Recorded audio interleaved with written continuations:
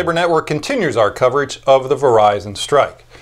Late last week, the corporation put forth what it called its last best offer when it offered to increase the pay rates over the life of the new contract from 6.5 to 7.5 percent.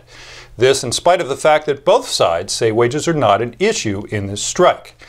Verizon Chief Administrative Officer Marc Reed said after the unions rejected the proposal, quote, It's unfortunate that union leaders have denounced our proposal. We've given the union a great offer. End quote.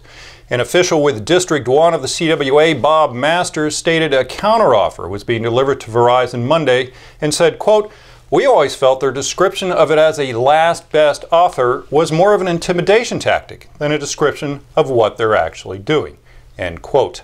Verizon spokesperson Richard Young said last Friday that more than a thousand unionized workers of the almost 40,000 who went on strike had returned to work, but Master disputed the account, stating that the striking workers are, quote, very united and very determined, adding that very few workers have crossed the picket line. Quote, they're claiming 1,000 scabs and we think they're making that up.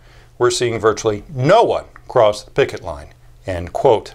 I'm Mark Harrison with your Labor Minute.